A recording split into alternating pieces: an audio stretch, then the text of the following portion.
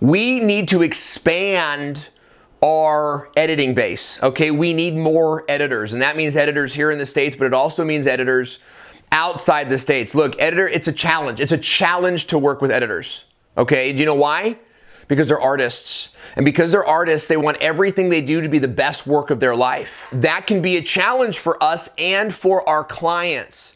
As we expand our customer base of business owners that want to make videos, these guys are not going to want to make their own videos.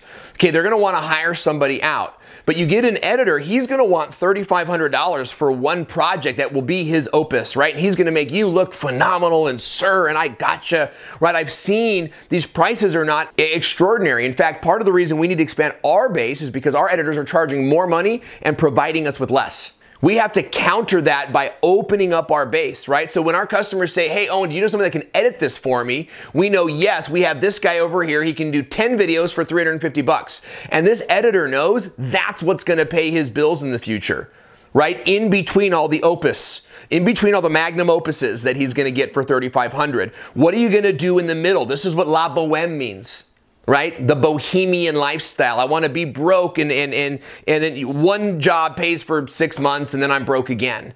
We need to find business minded editors that we can train to do videos the way the business community needs videos done. And that will make us very important right? Because we get these editors, we show them, look, these guys are shooting videos in there with their creation station. We can create video branding elements for them, lower thirds and transitions and things that have their logo on them.